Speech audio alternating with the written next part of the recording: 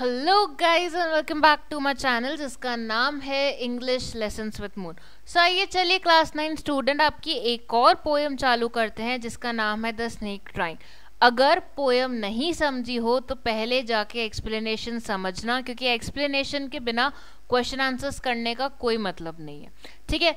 इन questions के अलावा आप लोग को आपकी बुक के क्वेश्चंस को ज़रूर ज़रूर ज़रूर रेफर करना है क्योंकि वो बड़े इंपॉर्टेंट होते हैं। ठीक है? So if you want to gain good marks क्योंकि आप इंग्लिश के अंदर अच्छे मार्क्स स्कोर कर सकते हो ठीक है? इससे आपकी परसेंट भी इंक्रीज हो सकती है।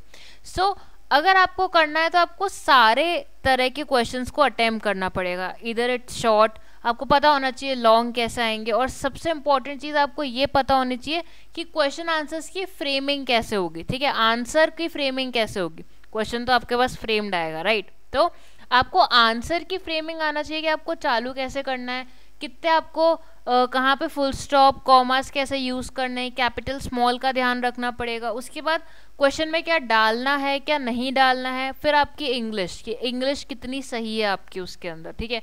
अगर आप कोई वर्ड लिख रहे हो तो आपकी स्पेलिंग मिस्टेक नहीं होनी चाहिए ग्रामेटिकल मिस्टेक्स नहीं होनी चाहिए।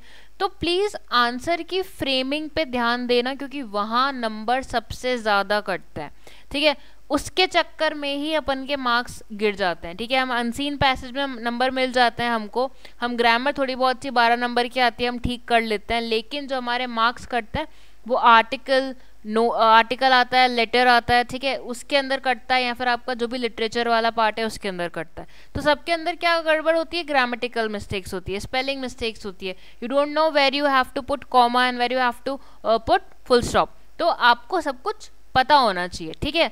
तो पहला क्वेश्चन देखते हैं। और अगर आपको कोई सी भी डाउट आए या अगर आपके पास कोई सजेशन हो वीडियोस के लिए तो आप कमेंट सेक्शन के अंदर मुझे मेंशन कर सकते हैं। ठीक है? First question what is the snake trying to escape from तो स्नेक किससे एस्केप करने की कोशिश कर रहा है? परसुइंग स्टिक से। वो जो लकड़ी है जिससे उसको मारा जा रहा है, उससे वो एस्केप करने की कोशिश कर रहा है। ठीक है? पोएम समझ लेना डिस्क्रिप्शन बॉक्स में लिंक मिल जाएगा। How was the snake's body snake की बॉडी कैसे थी? एलिगेंट थी और क्या थी? एलिगेंट बॉडी थी। Next how does the snake goes through the water किस तरीके से जा रहा था वो? ग्लाइड करता हुआ, ठीक है? रेंगता हुआ। Where is the snake trying to hide कहाँ छुपने की कोशिश कर रहा था? रीड्स के अंदर, पानी के। ठीक है? रीड्स क्या होती है? स्मॉल ग्रास ठीक है? R double E D what type of snake was it sorry what was the colour of the snake तो वो कौन सा कलर था?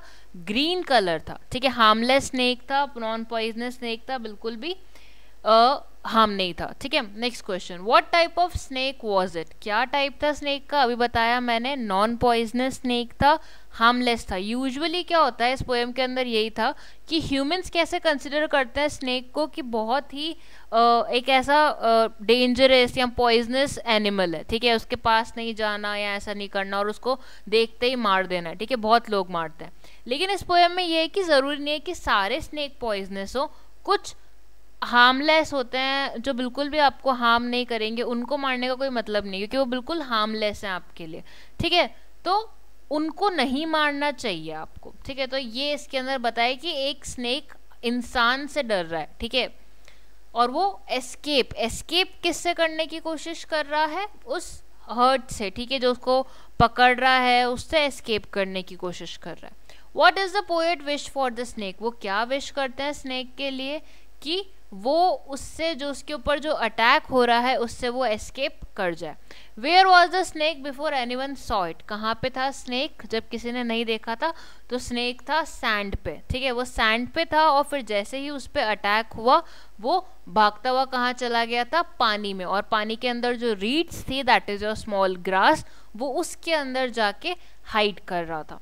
Next question where does the snake vanish snake कहाँ गायब हो गया था? तो छुपने के लिए वो कहाँ गया था? पानी के अंदर। तो वो कहाँ गायब हो गया था? पानी के अंदर गायब हो गया था। स्मॉल रीड्स के अंदर वो हाइट कर रहा था। क्योंकि ग्रास का कलर क्या होता है? ग्रीन स्नेक का कलर क्या था? ग्रीन वैसे तो दिमाग नहीं था स्नेक में, लेकिन स्टिल उसने क्या ऑप्शन चुना था? रीड्स चुनी थी जहाँ वो हाइट कर सके। ठीक है? सो so गाइज़ आपके इस पोएम के अंदर से अगर आपके क्वेश्चन में लिखा हुआ हो कि आपको 30 टू 40 वर्ड्स लिखना है तो आपके क्वेश्चन सेम रहेंगे और इसके अलावा अपने टेक्सचुअल क्वेश्चंस जो आपकी बुक के क्वेश्चन है बुक के पीछे हैं, उनको ज़रूर करके जाना, देख के जाना, पढ़ के जाना, ठीक है? सारे पोएटिक डिवाइसेस आपको पता होने चाहिए, थोड़े बहुत से पोएम के पोएट्स के नाम अपने दिमाग में रखना, ठीक है? पेपर के टाइम पे।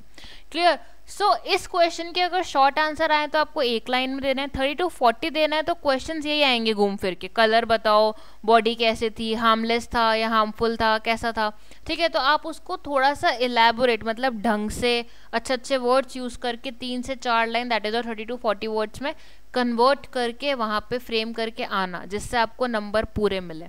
क्योंकि ये सेक्शन ऐसा है जो अपन यहाँ से पढ़ के जाते हैं, ठीक है? बाकी सेक्शन अपन को नहीं पता होता है बाकी सारा अनसीन होता है। हमें नहीं पता होता आर्टिकल का टॉपिक क्या है लेटर का टॉपिक क्या है अनसीन पैसेज कौन सा आएगा राइट लेकिन हमें ये पता होता है कि क्वेश्चन आंसर्स क्या टाइप के आ सकते हैं, ठीक है? क्योंकि हमें चैप्टर्स और पोएम्स पता होती है राइट तो ये आपको सबसे स्ट्रॉन्ग करना है, ठीक है?